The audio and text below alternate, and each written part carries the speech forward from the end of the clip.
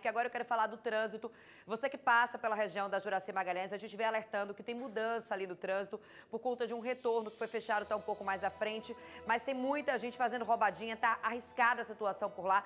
Vou chamar a Larissa Baracho, porque eu acredito também que pode estar tá chovendo, então não vou te segurar mais não, viu, Lari?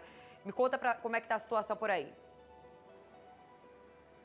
Bom dia, se você que continua nos acompanhando. Já registramos aqui, flagramos várias conversões proibidas. Só esse tempo que a gente está esperando para entrar ao vivo. Ou seja, a situação continua complicada por aqui. A gente retorna na Avenida Juraci Magalhães mais uma vez ao vivo. Olha o motociclista se arriscando ali, arriscando a vida de outras pessoas, pedestres e também dos veículos que estão fazendo o retorno. Na segunda-feira a gente flagrou essa situação. Conversamos inclusive com um pedestre que falou que quase ia atropelo atropelado, a Transalvador veio aqui e fez o seguinte: fechou a barreira ali de acesso aos pedestres para que esses motociclistas não acessem. Só que eles continuam acessando pelo lado do retorno. O rapaz ali, inclusive, com a pequena no braço, está complicado para quem precisa acessar aqui. Vou tentar conversar com o pessoal, porque eles ficam arriscando a vida deles. Arrisca também quem precisa passar por aqui. Muito bom dia. O senhor com a pequena aqui está complicado para passar. Muito complicado, bom dia. Muito complicado, uma lama retada o pessoal vai na contramão, a gente tem que passar no cantinho ali, todo mundo se apertando, pisando na lama, é horrível.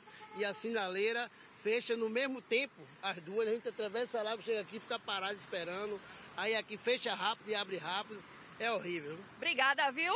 Olha, a situação realmente é complicada, precisa de uma equipe da Trans Salvador aqui, porque em alguns momentos, principalmente em horário de pico, a situação é complicada. Inclusive, uma cadeirante precisava passar aqui e por conta da barreira que está ali, ela não consegue acessar, ela precisou ir se arriscando, inclusive ali pelo retorno, junto com os veículos. Outras pessoas também, a gente viu na entrada, na primeira entrada, que o um motociclista foi ali pelo meio do retorno, quase que um carro também acaba pegando chegando. Então, para que um acidente não aconteça, é preciso que a Transalvador venha aqui e consiga fiscalizar toda essa situação. E a gente, mais uma vez, vem aqui para frisar para você que assiste o Bom Dia Bahia, que precisa passar aqui pela Avenida Juraci Magalhães, que por conta do avanço das obras do BRT, os retornos que haviam aqui foram fechados, então tem outras opções. Os condutores que estiverem no sentido Lucaia e desejam retornar para o sentido Parque da Cidade farão a conversão nesse retorno provisório que foi aberto aqui a alguns metros mais à frente do antigo.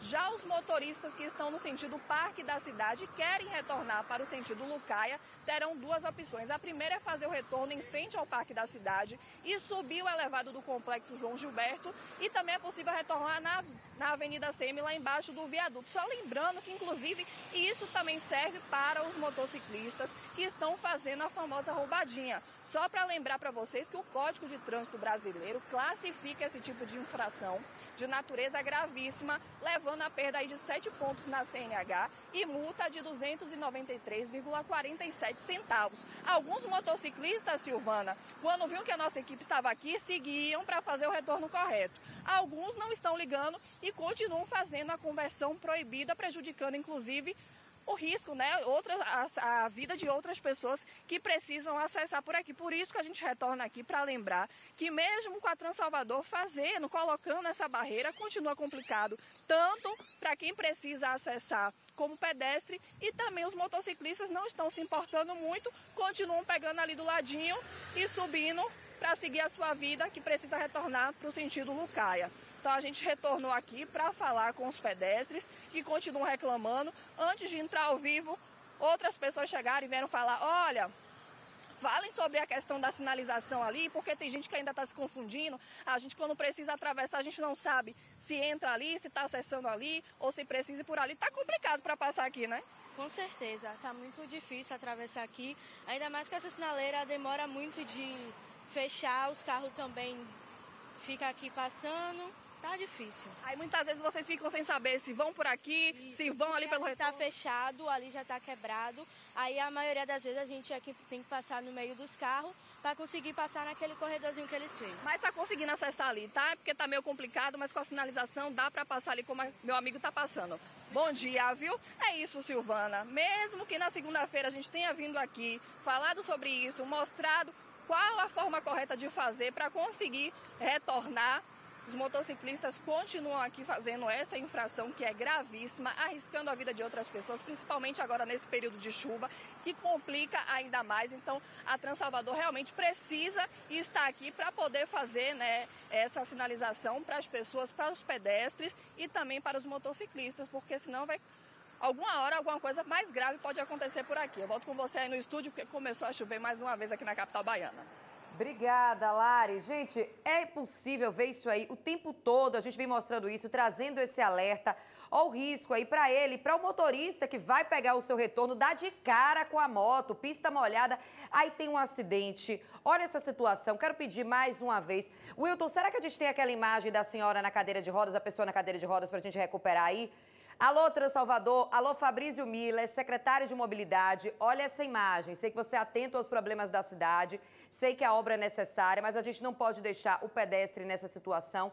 A pessoa que precisa atravessar com cadeira de rodas sem acessibilidade. Isso é acessibilidade, gente. A pessoa com cadeira de rodas ali vai passar no meio dos carros para conseguir chegar do outro lado da pista. Isso é respeito com o pedestre, respeito com o cidadão soteropolitano. A gente sabe que a obra é necessária, mas é preciso estar atento, ter esse olhar atento para a população, para o pedestre que passa por aí todos os dias, que atravessa essa pista perigosa de alta velocidade todos os dias para trabalhar, para ir para a faculdade. Então, olha aí, mais uma vez, essa imagem do cadeirante portanto, vai ter que passar junto dos carros, disputar espaço com os carros ali. Ó. Lá vai ele ali pelo cantinho, disputando espaço com os carros, porque não tem como passar por conta do gelo baiano que foi colocado dessa forma.